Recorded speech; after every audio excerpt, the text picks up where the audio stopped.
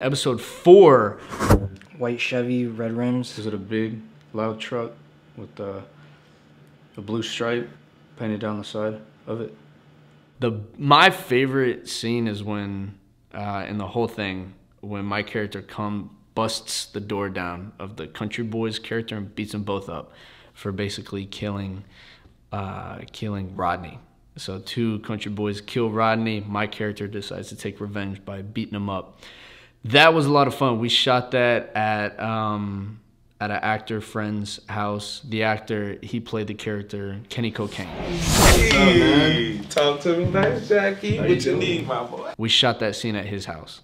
Uh, me with the bat coming in with the skull face. You know, it was awesome. Yeah, we didn't even use any lights. They had one light beaming down in the apartment, and we got the shot. We did everything, and it was perfect.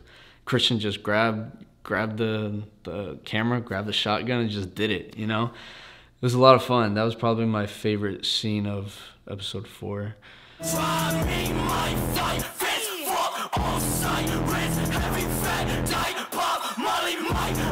I, got clicks